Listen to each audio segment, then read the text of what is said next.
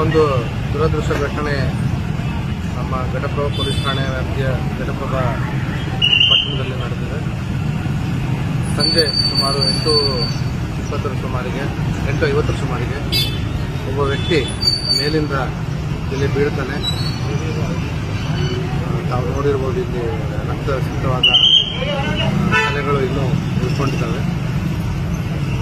ನಿನ್ನೆ ರಾತ್ರಿ ನಮ್ಮ ಪೊಲೀಸರಿಗೆ ಗೊತ್ತಾದ ತಕ್ಷಣ ಅವರು ಸ್ಥಳಕ್ಕೆ ಭೇಟಿ ನೀಡಿ ಆ, ಮೃತ ವ್ಯಕ್ತಿಯ ಶವವನ್ನು ಶವಾಗಾರಕ್ಕೆ ಕಳಿಸಿದ್ದಾರೆ.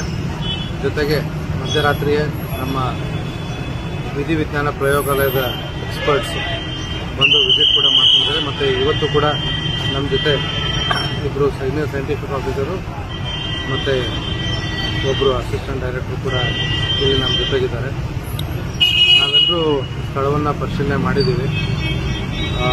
ಮೇಲ್ನೋಟಕ್ಕೆ ಇದು ಒಂದು ಆತ್ಮಹತ್ಯೆ ಪ್ರಕರಣ ಅಂತೇಳಿ ನಮಗೆ ಇಲ್ಲಿವರೆಗಿನ ಲಭ್ಯವಿರುವ ಸಾಕ್ಷಿ ಮತ್ತು ತನಿಖೆಯಿಂದ ಕಂಡು ಬರ್ತಾ ಇದೆ. ಹಾಗಾಗಿಯೂ ಕೂಡ ನಾವು ಅವರ ಸಂಬಂಧಿಕರು ಯಾವ ರೀತಿ ಕಂಪ್ಲೇಂಟ್ ಕೊಡ್ತಾರೋ, ದೂರನ್ನು ಕೊಡ್ತಾರೋ, ಅದ್ರ ಮೇಲೆ ನಾವು ನಮ್ಮ ಇದು ಎಫ್ ಐ ಆರ್ನ ದಾಖಲಿಸ್ತೀವಿ. ಎರಡನೇದ್ದು, ಅವನ ಕತ್ತಲ್ಲಿ ಕೆಲವೊಂದು ಆ, ಹರಿತವಾದ ಆಯುಧದಿಂದ ಆಗಿರ್ತಕ್ಕಂಥ ಗಾಯಗಳಿರೋದು.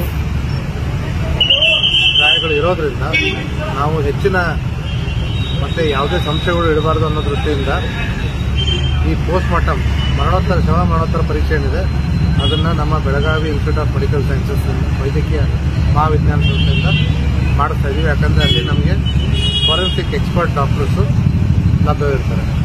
ಸೊ ನಮ್ಮ ತನಿಖೆ ಜಾರಿಯಲ್ಲಿದೆ. ಮೇಲ್ನೋಟಕ್ಕೆ ಇದು ಆತ್ಮಹತ್ಯೆ ಕಂಡು ಬಂದರೂ ಕೂಡ ನಾವು ಎಲ್ಲ ಆಯಾಮಗಳಿಂದ ತನಿಖೆಯನ್ನು ಮಾಡ್ತಾ ಇದ್ದೀವಿ. ಐದು ದಿನಗಳ ಕಾಲ ಗಣೇಶೋತ್ಸವ. ಐದು ದಿನ ಕಾಲ ಬಾರ್ಗಳನ್ನು ಬಂದ್ ಮಾಡಬೇಕಂತ ಆದೇಶ ಕೂಡ ಇಲ್ಲ ಈಗ ನಿನ್ನೆ ಕೂಡ ಈ ಬಾರ್ ಏನಿದೆಯಲ್ಲ ಇದು ಕ್ಲೋಸ್ ಆಗಿದೆ.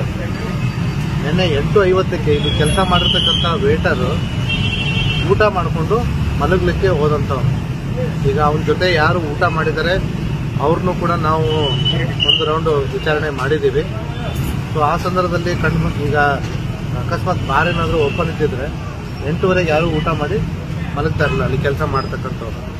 ಸೊ ಹಾಗಾಗಿ ಅದಕ್ಕೂ ಮತ್ತು ಇದಕ್ಕೂ ಏನು ಲಿಂಕ್ ನಮಗೆ ಕಂಡು ಬರ್ತಾ ಇಲ್ಲ. ಈಗ ಅವರ ಕುಟುಂಬದವರು ಬಂದಾಗ ಕೆಲವೊಂದಿಷ್ಟು ಮತ್ತಷ್ಟು ಮಾಹಿತಿಗಳು ಅವ್ರ ಬಗ್ಗೆ ನಮಗೆ ಲಭ್ಯವಾಗ್ತವೆ. ಅದು ನಮ್ಮ ತನಿಖೆಗೆ ಸಹಕಾರಿ ಆಗ್ಬೋದು ಅಂತ ನಾನು ನಂಬಿದ್ದೀನಿ ಸರ್ ಟೈಮಿಂಗ್ ಒಂದು ಫಿಕ್ಸ್ ಮಾಡಬೇಕು ಬಸ್ ರೆಸ್ಪೆಕ್ಟ್ ಇದೆ ಈಗ ಏನಾಗ್ತದೆ ಸರ್ ಟೈಮಿಂಗ್